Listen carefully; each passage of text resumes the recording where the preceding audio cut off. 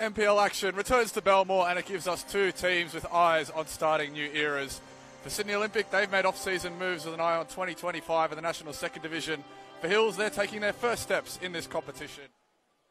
A signal given by the referee and we're off and running here at Belmore Sports Ground. Zach Zoricic is immediately called into action. Switch of play onto the feet of Will Much. Now, Darcy Burgess will try and wasn't far away. Numbers crowding around Noah James. Back post is where it goes. Up goes Montford.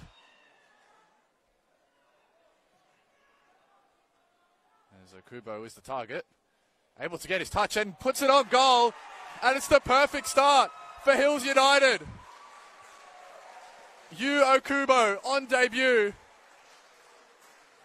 Took it around Ziggy Gordon and Noah James and was not missing it from that close. Much has found Casella, who stays on side, and Casella tries a fingertip save. We'll have possession, and this will give the defence a bit of a break. Oh, commentators curse strikes, and that's a crunching challenge, and this will be interesting now.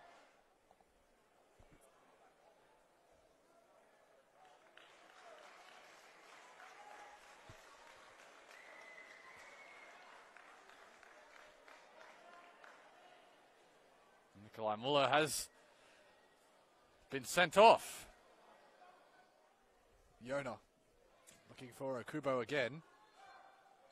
And that'll be the end of the first half, and it's Hills who have the 1 0 lead, courtesy of their new Japanese number 9, Yu Okubo. But they have an uphill battle to face in the second half. It looks like Olympic have already made one change, and that is Jackson Bandiera has come on for his Olympic NPL debut. To be in place of Will Much. Okubo looks to combine. Belcardi has got the other side of Qual. And he's the only man getting forward for Hills. Still Belcardi with a chance to make it two. Just looking back on the replay on the YouTube stream, you can see he starts to run so deep. He, he still picks up the ball 40 metres out. O'Donovan heads it back. And Totus tries, but couldn't keep it down. Parkhouse.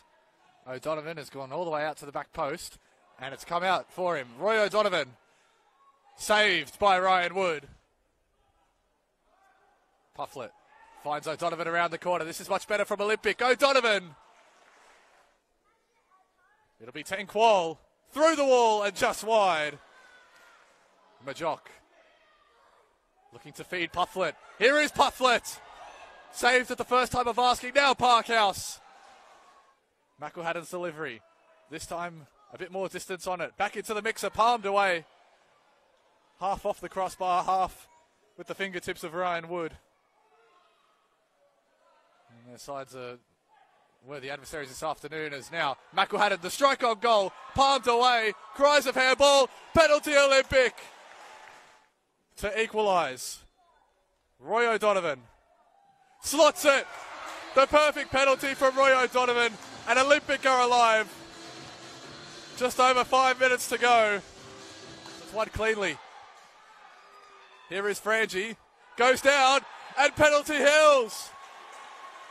From one penalty for Olympic. And now it's Hills' turn from the spot. And we could be set for more. Here's Montford. Sends the keeper the wrong way. And Hills have been a man down for an hour. They conceded just a couple minutes ago and now they're back in the lead. At the discretion of the referee now. Hills praying for the final whistle. Olympic hoping they get one more chance. And full time at Belmore. A massive upset on the first day of the season for Hills. With 10 men for more than an hour. They led 1 0. They conceded the equaliser, but almost as quickly as they lost the lead, they regained it, courtesy of Owen Montford's penalty.